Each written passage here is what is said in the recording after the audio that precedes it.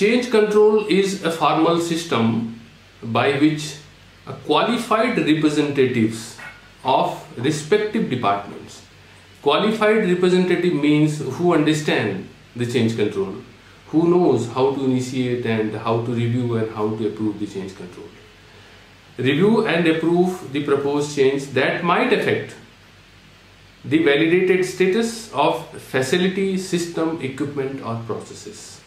This is the reason it is required a qualified representatives. In the manufacturing environment, the any change refers to any modification in equipment, materials, facilities, utilities, uh, design, uh, formulation, processes, packaging and labeling, any computer system, and all associated documents like SOPs and site master files and quality manuals, validation master plan, everything.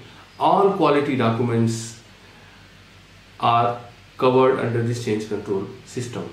Any change should be routed through the change control system.